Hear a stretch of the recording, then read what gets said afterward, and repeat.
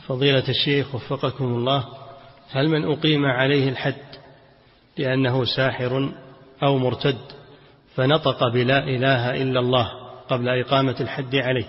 هل يصلى عليه ويدفن في مقابر المسلمين؟